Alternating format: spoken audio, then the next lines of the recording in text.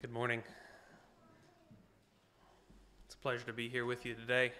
And um, in some ways, I guess I'm playing off of um, a, uh, a recent love that I've had in looking at the minor prophets, or what we call the minor prophets. And um, those of you who were here the last time I preached know that I preached from uh, Habakkuk.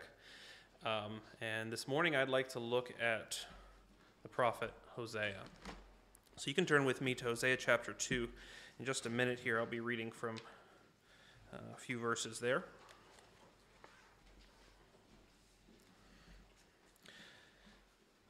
I've entitled my sermon this morning, Baali or Ishi, and we'll get to that in just a bit. Um, those of you who aren't using the King James Version uh, may not recognize it when we come across it, um, but um, it is, these are words used in our Bible, and uh, we'll get a, a better understanding of what that means in just a bit.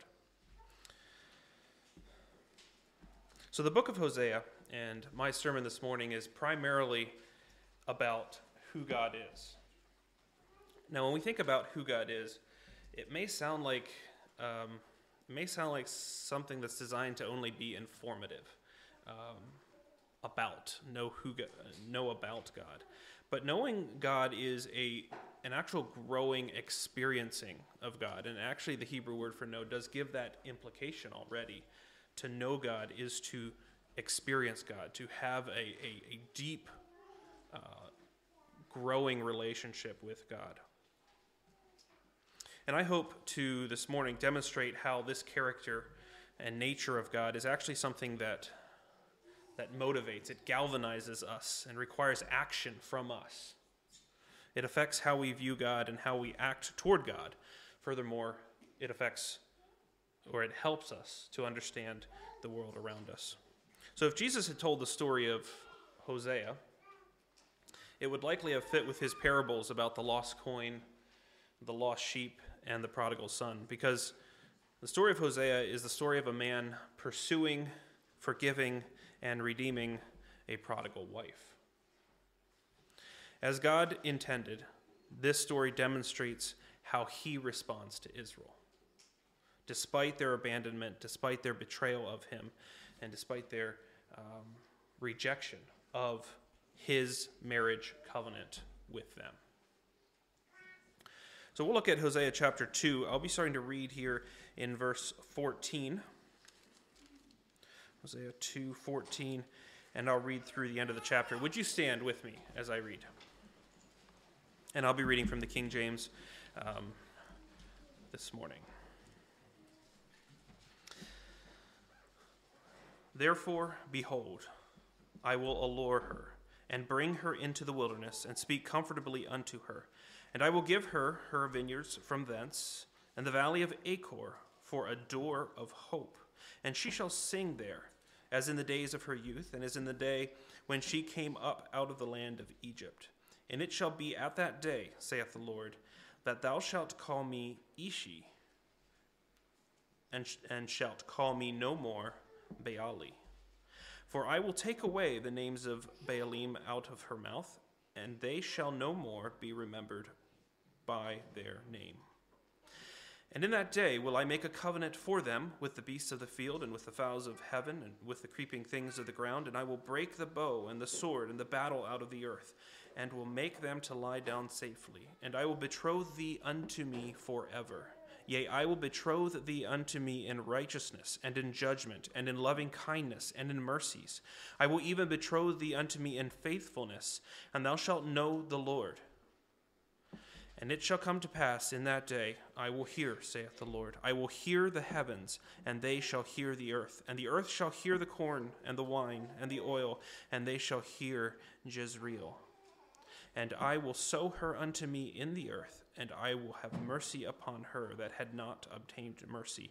And I will say to them which were not my people, Thou art my people. And they shall say, Thou art my God. You may be seated.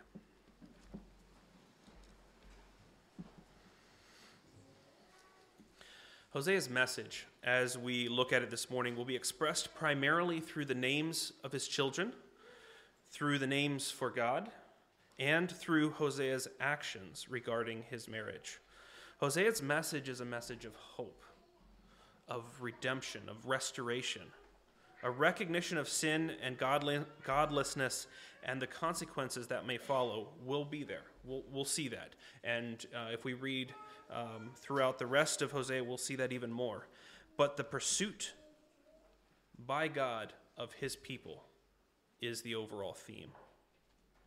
A desire to invigorate and instigate a new kind of relationship that moves beyond a master and servant relationship to a husband and wife relationship.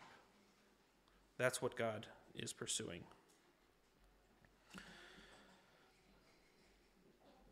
So, the book of Hosea is 14 chapters long. We'll be looking primarily at the first three chapters this morning. The last 11 chapters are a compilation of prophecies and poems, um, and some think probably extended over 20, 25 years of Hosea's life. Um,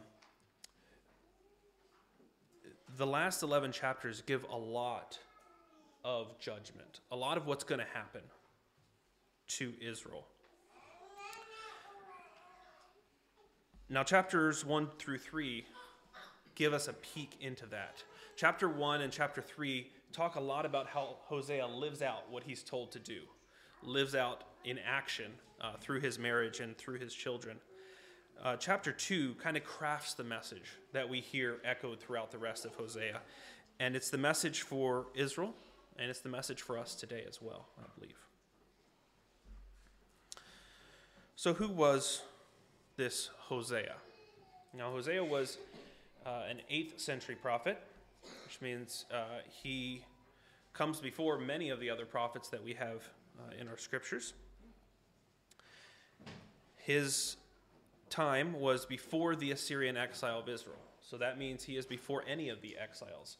And he is speaking primarily to those northern tribes. He uses the name Ephraim in, when he's referring, or some of the time when he's referring to Israel um, and those tribes. Um, and he does allude to Judah a few times. We may actually get to a point where he talks about that. His name, Hosea, means salvation, or he saves. And I believe this is a picture, this is the picture that Hosea portrays of God. It is a picture of one who saves.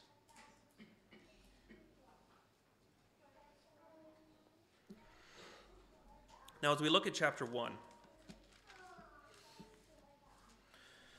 we see that Hosea is told to take a wife, take a wife of whoredoms or harlotry, a wife who will be unfaithful to him.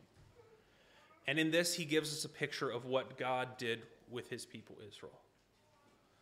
His people Israel strayed from their covenant with God and they sought other gods quite quickly, actually, after um, their initial covenant with God there in the wilderness.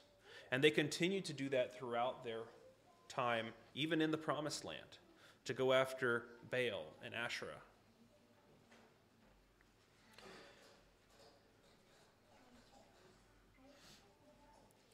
In verse 4, we arrive at Hosea's children.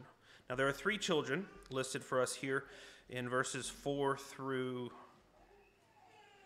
uh, 4 through 9 at least here. And the first child's name is Jezreel.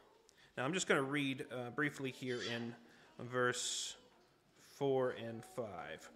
And the Lord said unto him, Call his name Jezreel, for yet a little while, and I will avenge the blood of Jezreel upon the house of Jehu and will cause to cease the kingdom of the house of Israel. And it shall come to pass at that day that I will break the bow of Israel in the valley of Jezreel. Now, I don't know how familiar you are with what happened in Jezreel, um, but the name Jezreel itself is basically what God is calling Israel now. God had given them a name. He had given them the name Israel, which means uh, Prince of God, Israel. And now he's calling them Jezreel. Jezreel means scattered by God. Um, actually, it's also pronounced Yisrael. Uh, a very, very similar pronunciation there, um, and, and maybe an allusion perhaps. But he is calling his people scattered. And the reason he uses the name Jezreel, as he talks about here, is because of the bloody punishment that was dealt out by Jehu in the valley of Jezreel. Now, Jehu is uh, the man who became king. He was um, told to take his, he was anointed, told to take the kingship, um, and he destroyed the house of Ahab, killed the sons, um, had Jezebel killed, um, and brought a lot of blood to the valley of Jezreel. Now, he was rewarded for that action. Um, in 2 Kings 10, verse 30, it says, And the Lord said unto Jehu, Because thou hast done well in executing that which is right in mine eyes, and hast done unto the house of Ahab, according to all that was in mine heart, thy children of the fourth generation shall sit on the throne of Israel. So the wording here in um, verses 4 and 5 is can be maybe a little confusing, and I'm still trying to wrap my mind around it. Some people um, think that, um, or translations would, would hold that it's talking more about as Jehu punished the house of Ahab for idolatry, so God will punish Israel for their idolatry now, um, instead of a revenge on Jehu um, for what he did at Jezreel. Nevertheless, the point is the same bloody punishment awaits. and that is why he was to call his name Jezreel. A second child is born, and that child is named Lo Ruhamah. Lo Ruhamah means I will not have mercy or I will not have pity. Something somebody that is unpitied.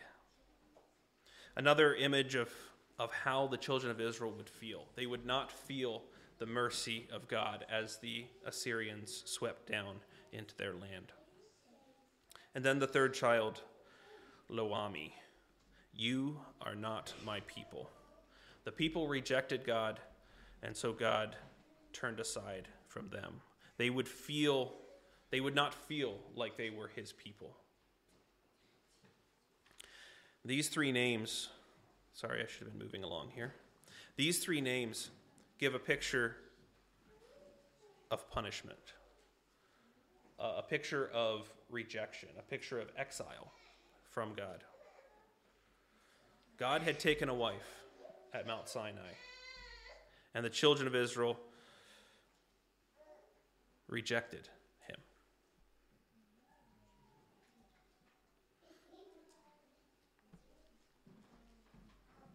Now, verse 10 shifts. And I, I really feel like verse 10 should be the start of the next chapter. And actually, the Hebrew text does do that. Verse 10, I'm going to read verse 10 through 2 1, uh, according to the King James. Yet the number of the children of Israel shall be as the sand of the sea, which cannot be measured nor numbered. And it shall come to pass that in the place where it was said unto them, Ye are not my people, there it shall be said unto them, Ye are the sons of the living God. Then shall the children of Judah and the children of Israel be gathered together and appoint themselves one head, and they shall come up out of the land, for great shall be the day of Jezreel. Say ye unto your brethren, Ami, and to your sisters, Ruhamah. Despite their rejection of God, God would gather and call them back not just as his people, remember Ami, but as sons of God.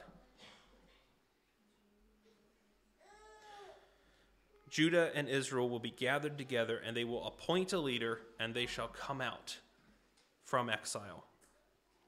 For great shall be the day of Israel. Just as Jehu had brought about a day of reckoning, so the day of reckoning would come to them as well. But that day would be a door of hope, and we'll get to that in just a bit. A door into a new kind of um, a new kind of relationship with God. When we take that word or that part lo out of the word out of the name Loami, it becomes Ami, which is you are my people. And so in uh, chapter 2, verse 1 Say ye unto your brethren, Ami, You are my people. And same with Ruhamah. I will have mercy. Now, verses 2 through 13, we could go into uh, a lot of detail here. Um, plead with your mother. She had sought out other lovers. Israel had sought out other gods, crediting them with her wealth, crediting them with uh, the sustenance that she received, that oil and wine that we talked about earlier, that, that abundance. They said, These are the gods that, that brought this to us.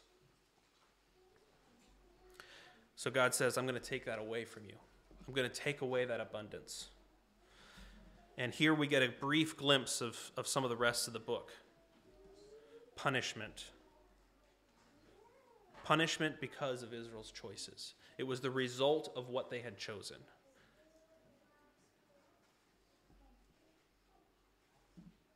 And then in verse 14, we see the switch back. And I read, this is the portion that I read just a bit ago. Therefore, behold, I will allure her and bring her into the wilderness and speak comfortably unto her. And I will give her her vineyards from thence and the valley of Achor for a door of hope. Does anybody know what happened in the valley of Achor?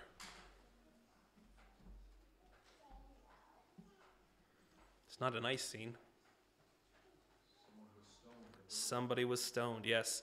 Valley of Achor is the place where Achan was punished. Now, how, does, how is that made into a door of hope? I think the NET calls it a door of opportunity. Well, it is that punishment that allowed the taking of the promised land to happen. It was, it was Achan's sin that kept them from, from conquering Ai and the rest of the promised land. And so that punishment created a door, a door of opportunity for the rest, uh, for, the, for the children of Israel to enter the land.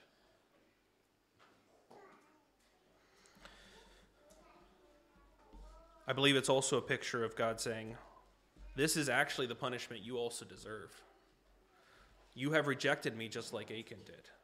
You have taken unto yourself what's best for you, not, not doing what's best for God. So instead of a death like you deserve, I will give you forgiveness and I will give you a way forward.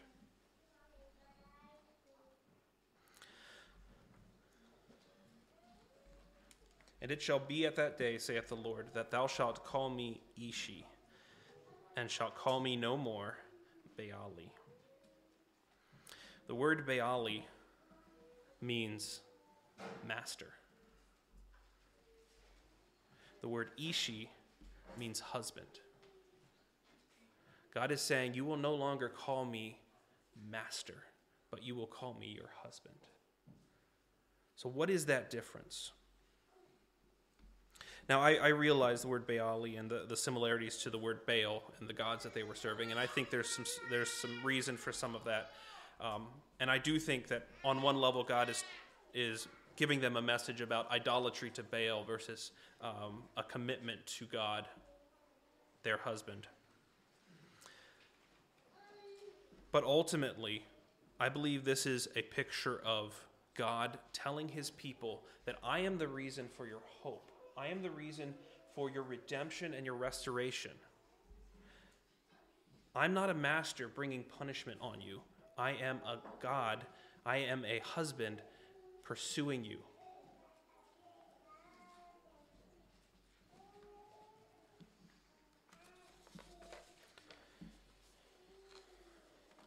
And I think this becomes evident as we look at the passage surrounding um, this verse, verse 16. Because up until this point here in chapter 2, God has been laying out the character the characteristics of what a master looks like. A master is someone, and, and he does this in reference to the master that Gomer, uh, Hosea's wife, was serving. A master is someone who punishes severely. When there is failure, when there is a mistake, there is punishment, and there is severe punishment. A master has no mercy.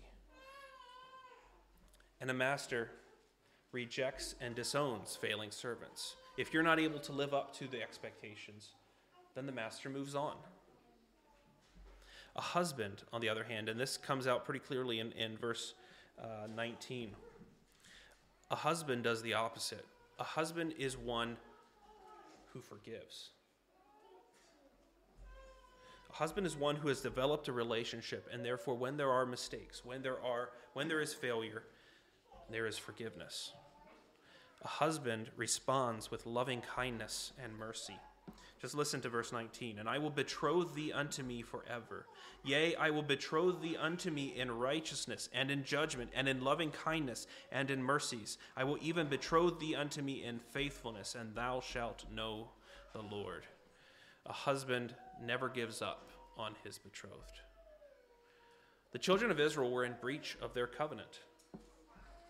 They had failed at the covenant that was made. And yet, instead of rejecting them, God came back and said, I will again betroth thee to me. I will again take you as a wife.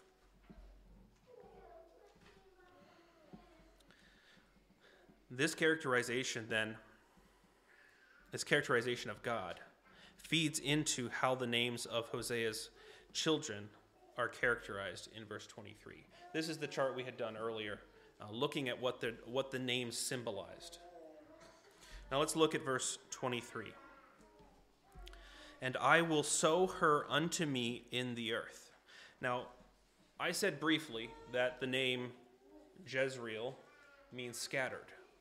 But there's a, there's a sense to the word that it actually also means sown or planted. And if, if you think about uh, a farmer going into a field and scattering seed, that's the idea of Jezreel sowing.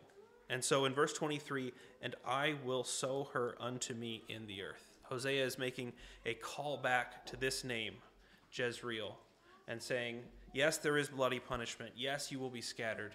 But ultimately, you are sown unto me in the earth. And I will have mercy upon her that had not obtained mercy. Instead of no mercy or unpitied, now we have obtaining mercy, Ruhama. And then we finish verse 23 And I will say to them which are not my people, Thou art my people and they shall say, Thou art my God. So we've turned the names, and, and now it means, uh, I'm sorry, let me just read this verse as it would be if we were using the names instead of, instead of, what, um, instead of what they mean. It would be saying, I will Jezreel her unto me in the earth, and I will Ruhama upon her that, that was lo Ruhamana. And I will say to Loami, Thou art Ami, and they shall say, Thou art my God. Hosea here using, or God, using those names again to come back around and say, You know what? You are my people. You will obtain mercy. Uh, Hebrews 4:16 says, "Let us therefore come boldly unto the throne of grace, that we may obtain mercy and find grace to help in time of need. And though you are scattered, God is saying, you are actually sown, and you will bear fruit. God is not just about scattering and bloody punishment, He is planting a field, He is planting a garden. Contrary to how things may appear, He does have mercy on His people, and He has not abandoned or rejected them, but rather desires to call them back into a covenant relationship. Chapter 3, we see Hosea told to buy back his wife. And it gives this picture of Israel returning and again having a Davidic king. And we know that prophecy um, came to fulfillment in Jesus Christ a Davidic king.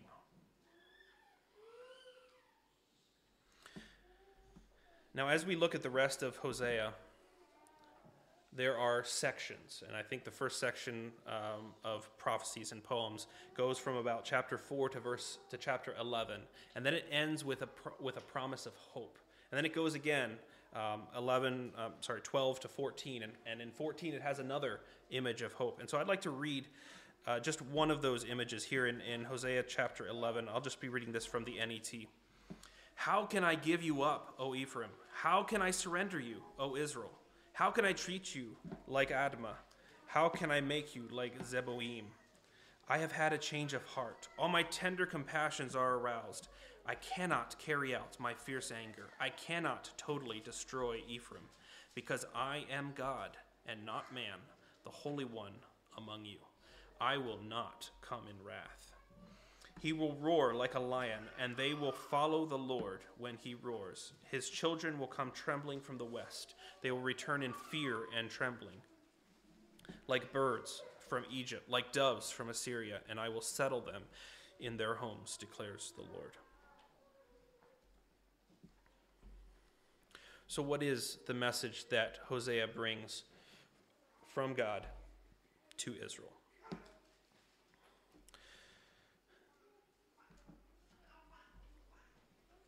The message that judgment is on its way is there.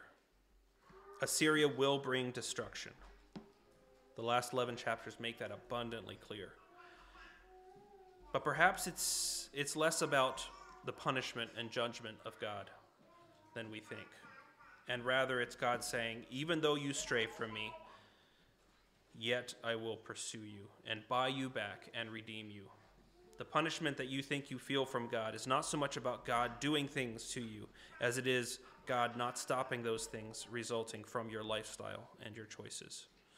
You will feel the scattering and bloodshed and punishment that Jehu brought to the idol worshiping family of Ahab at Jezreel because you were all about worshiping Baal. You were all about building your nation. You showed no mercy. Therefore, you will feel unpitied and feel no mercy from God. You wanted to be your own people, you wanted to worship other gods. Have at it. This is the results. God's message is this I will pursue you.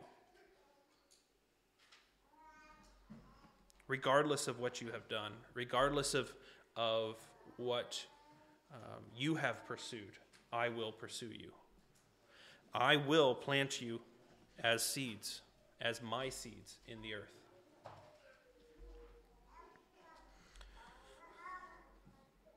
I will show you mercy again. Ruhama. And I will call you to be my children, the sons and daughters of a living God and Father. I am not your master. I am not Baali to bring you to me with fear of punishment, but rather I am your husband, Ishi, to love you to myself. Is that the God we serve? I don't want to downplay the role of servanthood because I think servanthood is, is vitally important.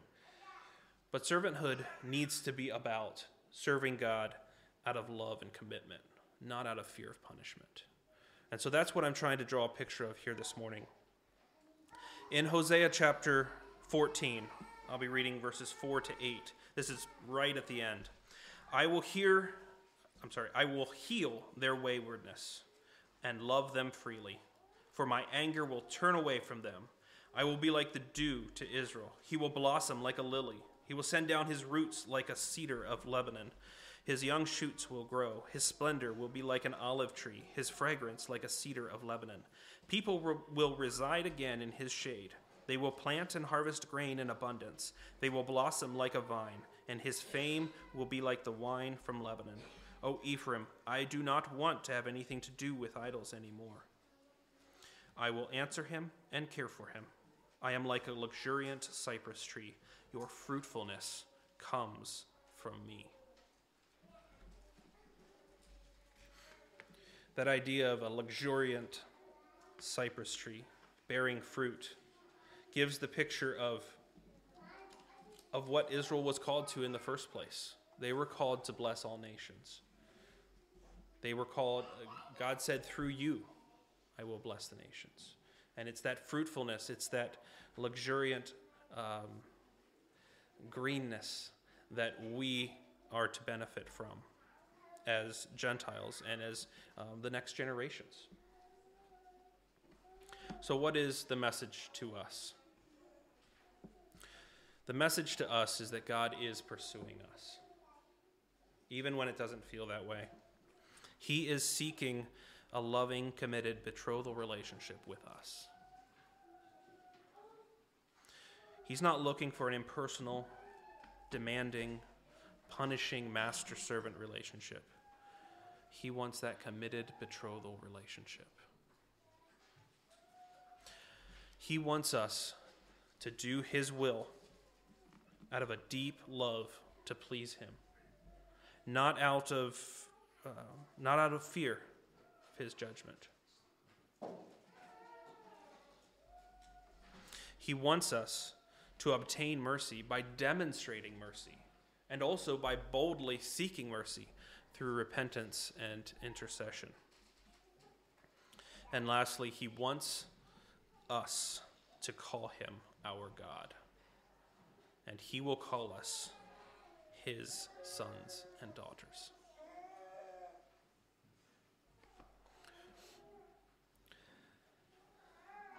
I feel like Peter, when he was writing his epistle, had probably just gotten done memorizing this passage or had gotten, gotten done reading this passage again, or maybe he gave a sermon on Hosea. Because as I read 1 Peter 2 9 and 10, I hear this same theme.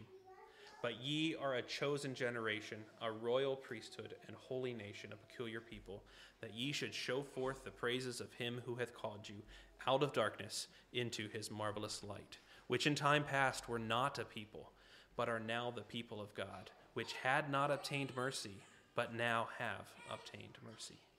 And Peter here is actually talking about Gentiles.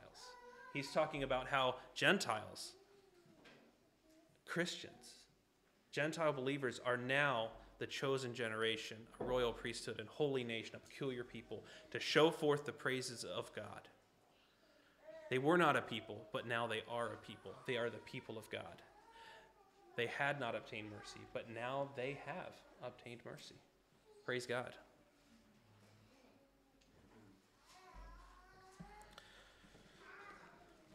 Then I will plant her as my own in the land. I will have pity on no pity. I will say to not my people, You are my people. And he will say, You are my God. Let's kneel for prayer.